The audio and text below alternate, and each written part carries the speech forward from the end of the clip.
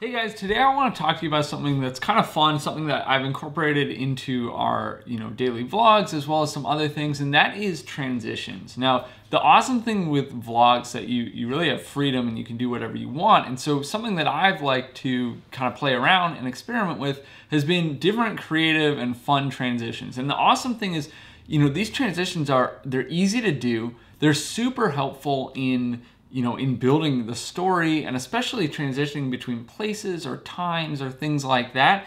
And uh, they're not, you know, you can do them in any editor or anything like that. They're really basic once you learn how to do them. So I wanted to go over four today. Um, and what I'm gonna do is I'm gonna do these transitions while talking about them. Now, I wouldn't use these transitions simply to go to an, you know, a new sentence or anything like that. But I want to talk through them while I do them and to kind of show the difference. Like I said, again, I, I probably wouldn't use these, uh, you know, to do in the way that I'm going to. Uh, what I'm going to do is I'm just going to change shirts. So, you know, in one part, I'll be wearing this red sweatshirt and in another, I'll have this gray shirt on. And that will kind of show you the transition. I'll also maybe change locations and whatnot, but I'm going to keep it all indoors so I can explain it. The first one is, you know, just basically covering the lens, right? So a great one is by using your hand or hands um, to just cover the lens.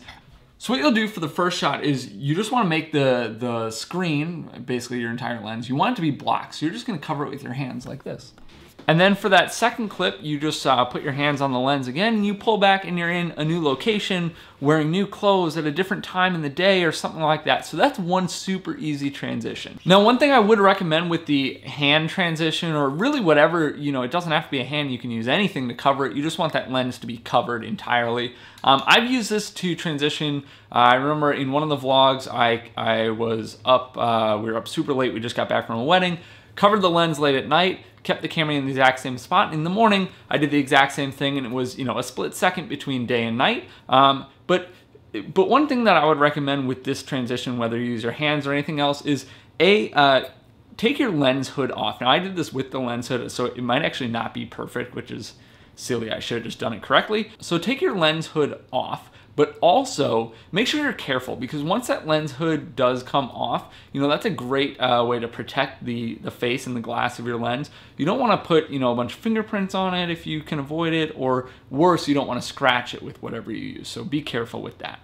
Now the next transition that I want to talk about, one that I've used a couple times, is uh, what I would call like a spin, right? And there's two different ways to actually do this. Now you can do it with or without an anchor point, and that's what, what I would call it. There's no you know official word for that, I'm sure. Um, so basically, if you do it with an anchor point, what you're gonna do is you're gonna take the camera, and I'm holding it, I kind of have it bent right now. I have it in like an L shape kind of, so the camera's pointing at me, but I have a good grip on my Joby Gorillapod. And I'm gonna take it, I'm gonna hold it really tight uh, just in case because sometimes this worries me a little bit. But I'm gonna take it just like this and I'm just gonna spin. And what I did for that second one is I just did my full spin one more time and then I bring this in editing and I'll do a, a, little crossfade just the smallest amount that I can do to transition between these two. And because what will happen is the the background kind of blurs because you're just moving so fast. The cool thing with this is with that anchor point which is myself in this one um, is, is that I actually kind of stay in focus. So you need to make sure that you're holding it you know about the same distance about the same way and about the same direction. And you just do that spin you know, all the way around just like this, keeping as centered as you can. Obviously a lot faster than that. I actually like to go on one foot it helps me spin a little bit faster. Um, but you can also do the spin a different way and that's without an anchor point. So what I would do is I would talk about, you know, something like this and then when I want to transition, I'm going to grab it. I'm actually uh, I take my hand and I grab it from the back like this. I'm just gonna spin it uh, as far and as fast, kind of just right where it is, as fast around as you can. And for that second part, all I did was whip it around one more time. I probably only went 180 to 270 degrees. I did not do a full 360. So what I'll do is on the first one, I'll go, you know, a half circle or three fourths of a circle around. And then on the second one, I'll start, you know, back maybe at at 90 degrees of where I started already, and I'll do that full three-fourths to get back around to me. Now, uh, of course, be careful with this. My, my, my plate actually came loose on that one. It's loose right now, but it's still holding. Um, but the cool thing with this is that you don't have that anchor point. So nothing should really be in focus. And you can transition from a variety of environments. You know, obviously this was all in the same room in the exact same spot. But if you, you know, if you can whip it fast enough, uh, it's just colored. It's just blurred because of a rolling shutter basically will make it tilted and you're moving so fast the camera just can't keep up and things are out of focus and whatnot. So you could transition, you know, from inside to outside. And uh, again, I would do just a slight crossfade in between them, uh, super quick, as quick as you can make it probably. Play around with it, of course. All right, another one that I want to talk about is what I would call like a jump cut. Um, so basically what you're doing is you're leaving the camera in one spot and uh, you know, basically the subject. So the subject here is going to be me, and I'm just going to disappear uh, to something, right? So I'm going to just go back here. I'll show you because I'll change shirts and you'll know. But basically all you do is, uh, you know, whether whether it's you know you close a door because you go in the bathroom and you take a shower or something right you want to get rid of that time in between so you just uh, make sure your subject disappears by walking behind something or going behind a door or something like that.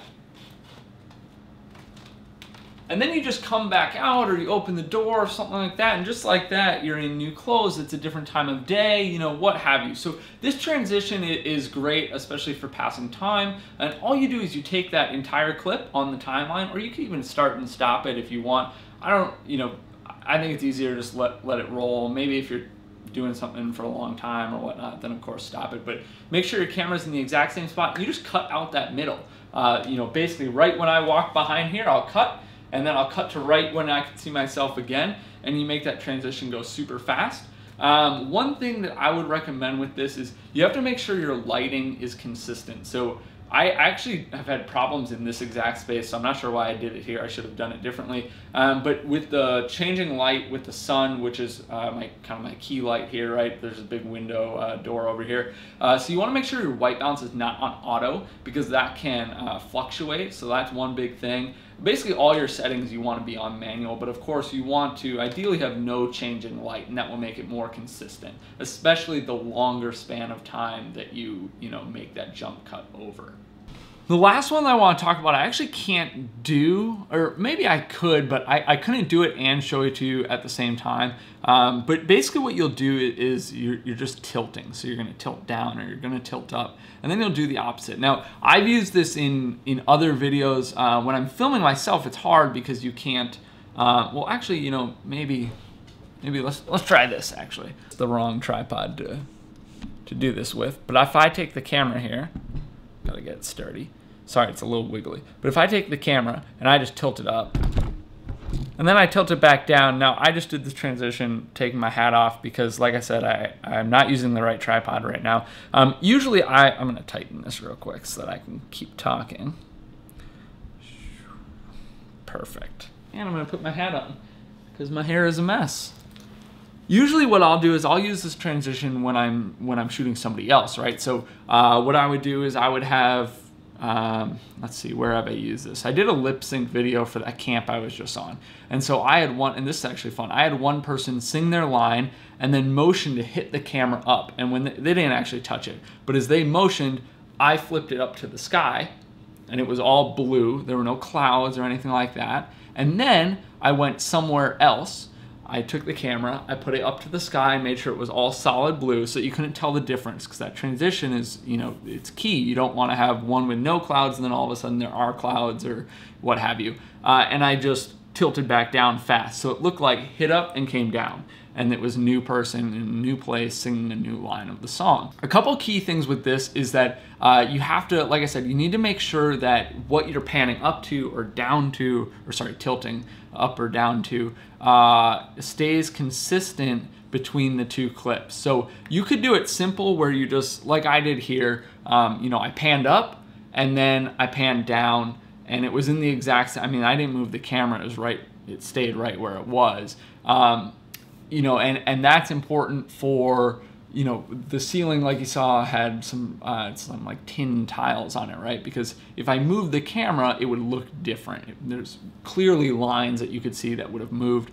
Um, but if you do it on something like the sky, where it's either completely blown out or all blue or you know something like that, something that's consistent and easy to replicate, then you can move places as well, which is cool. Um, one other thing with that in replicating the the scene exactly is make sure you know what your settings were. You can also you know go into your camera and, and probably see the info on the clip you recorded because you want your settings to be exactly the same as well.